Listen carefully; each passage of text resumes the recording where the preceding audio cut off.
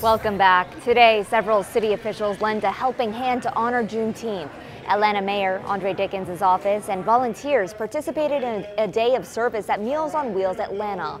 The team packed meals and organized a food pantry, supporting the organization's mission to serve Atlanta's seniors facing food insecurity. Also today, making a difference, the second annual Juneteenth block party in Atlanta hosted by Project Help.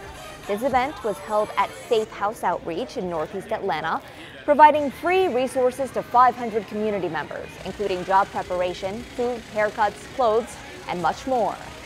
It's that special care, right? It's a whole different feeling. And what they're looking like right now is totally different.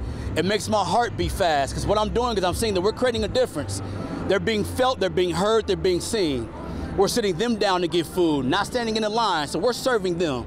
It's a real day of service, and this is what I live for. I interact. I mean, these are my people, these are our people, and I love being here for it.